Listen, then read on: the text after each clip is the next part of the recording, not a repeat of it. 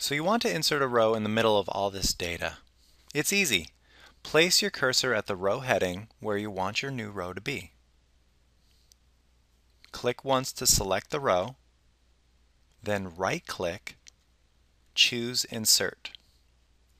The data moves down one row. You can insert multiple rows too. To insert three rows, place your cursor at the row headings, click and drag to select three rows, right-click, choose Insert. The data moves down by three rows.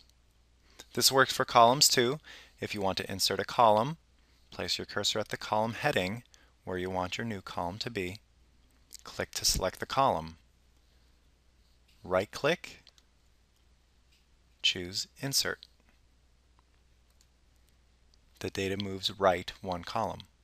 And finally, for multiple columns, place your cursor at the column headings, click and drag to select two columns, right-click, choose Insert. The data moves right by two columns. Easy.